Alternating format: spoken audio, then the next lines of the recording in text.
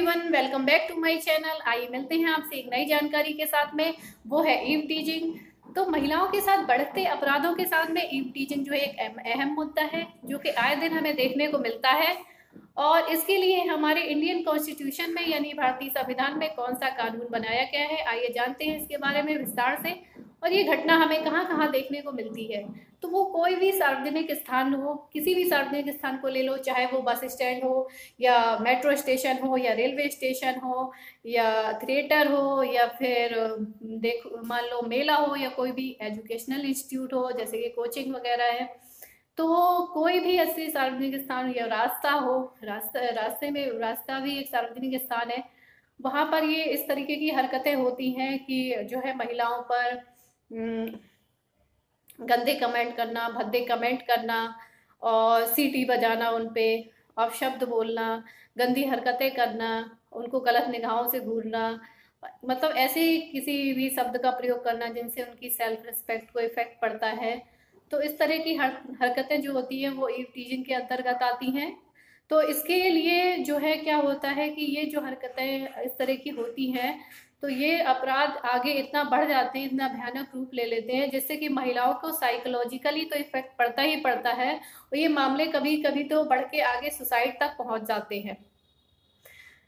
तो तो मेरी उन महिलाओं से ये बहुत बड़ी रिक्वेस्ट है कि वो स्टार्टिंग से ही इन मुद्दों को हल्के में ना लें, बिल्कुल हल्के में ना लें, इसके प्रति पूरा एक्शन लें।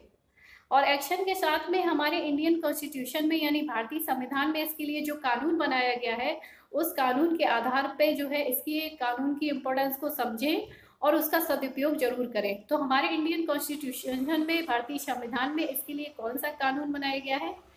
तो इंडियन पेनल कोड के हिसाब से आईपीसी की धारा 509 लगती है इवडीजिंग के लिए। जिसके अंतर्गत अपराधी को एक साल तक की सजा, जो कि तीन साल तक बढ़ाई जा सकती है और साथ में जुर्माना या फिर दोनों हो सकते हैं। तो जब हमारे संविधान में इतना बड़ा कानून है महिलाओं के लिए, इस अपराध के लिए तो इस कानून का उपयोग ज़रूर करें।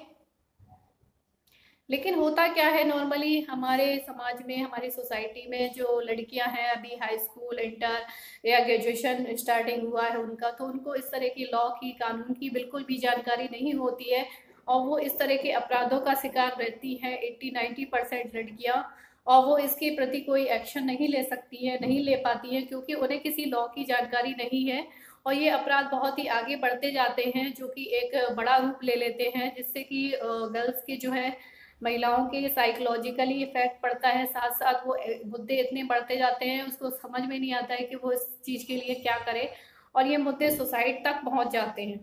तो मैं, मेरी गर्ल्स से ये रिक्वेस्ट है कि इस लॉ के बारे में ज़रूर पढ़ें, ज़रूर जानें और मेरे वीडियो को देख के अगर कुछ समझ में आ रहा है आपको तो इस तरीके के अपराध को बिल्कुल भी टॉलरेट ना करें, उनके साथ बिल्कुल भी कंप्रोमाइज़ ना करें।